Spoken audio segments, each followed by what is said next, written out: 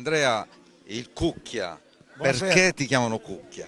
Oh beh, è una storia vecchia, nel senso che quando tu parti da giovane con, eh, nell'entrata di una band, normalmente si fa un'imitazione o, dà- o ti- comunque ti caricano di un soprannome, succede a tutto il mondo. In Stati Uniti, America, Australia, Italia. E, mm, a me è successo che Massimo eh, era abituato a, a- a- giocava a fare il, il tossicodipendente, quindi non c'è una spada, non c'è la roba, allora io ho detto non c'è un cucchia.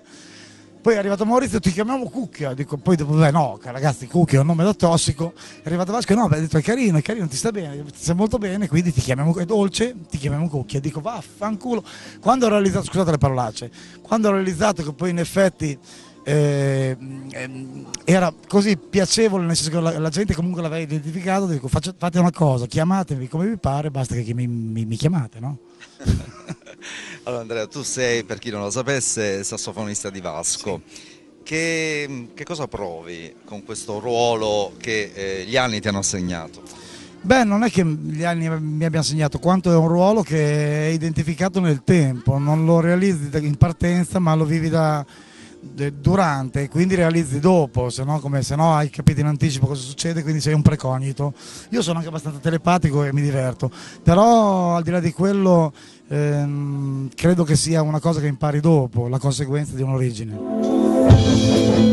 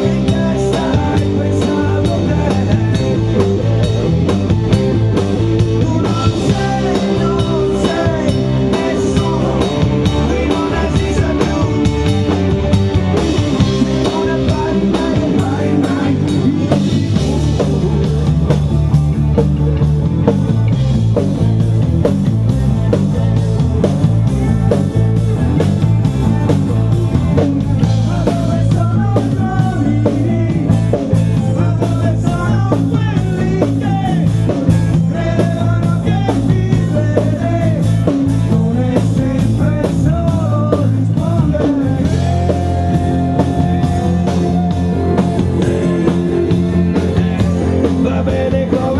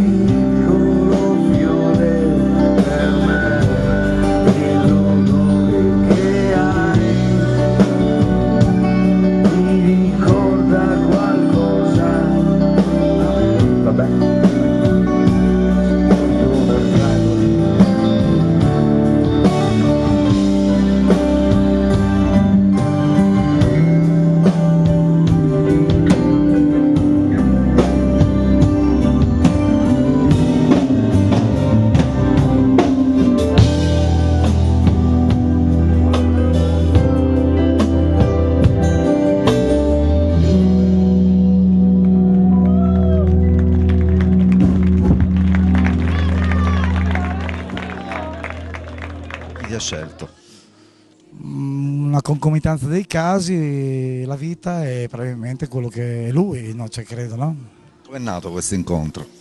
Ma è nato perché conoscevo il tastierista che è poi fa l'atto di San Ferdinando di Puglia, Mimo Camporeale, mi chiamò perché, perché lavoravo in studio con lui con una cantante emergente, poi mi sentirono il provino, poi io in concomitanza lavoravo a Bandiera Gialla accompagnando cantanti negli anni 60 con un con Marzio e Poligrafiti, un vecchio gruppo nell'82, 83 ancora con il Brasil, eh, sempre, cioè nel senso accompagnare sempre artisti brasiliani, fare altre cose. Poi arrivò una sera il gruppo di Vasco, ci fu un primo incontro, poi nell'inverno successivo mi chiamarono a fare un pre-provino, poi provino in aprile e poi mi hanno assoldato, assunto e eh, raccolto. Si capisce cosa hanno fatto, però intanto sono ancora qua. Correva l'anno? 1984-85. Che cosa è successo nella musica di Vasco da allora? Ho tante cose, sono tante scelte diverse, di produttori diversi, di scelte sue personali, di insiemi, qualcosa di live, un mucchio di roba sinceramente. E tu come sei cresciuto in tutti questi anni? Ma io ho sempre rispettato la musica, quindi sono cresciuto in parallelo, almeno artisticamente internamente. Poi il fatto di, fare, di occupare un ruolo, di essere un gregario, quello è una circostanza del caso.